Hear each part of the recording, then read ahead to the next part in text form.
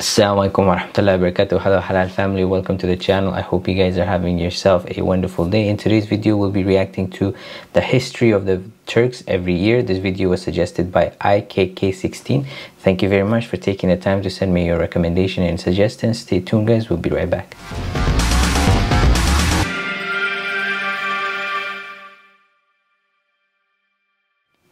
Welcome back guys. We're going to get started with the video momentarily and at the end of the video i'll be sharing with you my observation and reaction. So please make sure uh, you stay until the end. With that said we're going to get started with our video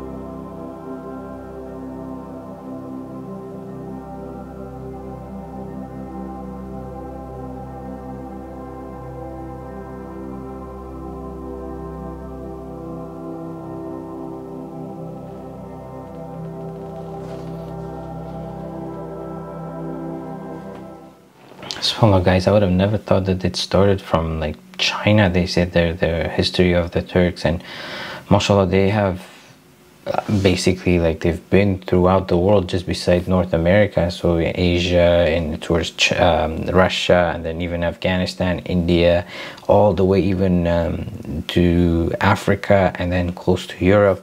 Um, but I'm curious because um, you know there might be that uh, for example somebody that had come from east to North America before uh, Columbus so I, I would love uh, to see whether anybody knows and has some history because supposedly they're saying some parts of uh, Mexico when they uh, found some burial sites they found that for example um, houses or places that look like a mosque uh, that date way before Columbus. So some people think that the Muslim merchants actually made it to North America. It's just that they didn't try to conquer the people, for example, so they didn't set up an establishment.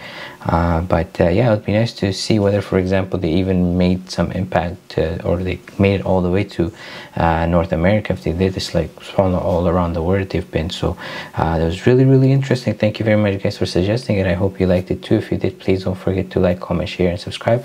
Alhamdulillah, we're really close to hitting 100k subscribers. So if you're able to, please uh, share this video with your family and your friends and invite them so that we can grow our uh, halal family together with that said guys i hope you guys have yourself a wonderful day. Take care of yourself and your family. Inshallah see you guys in the next video.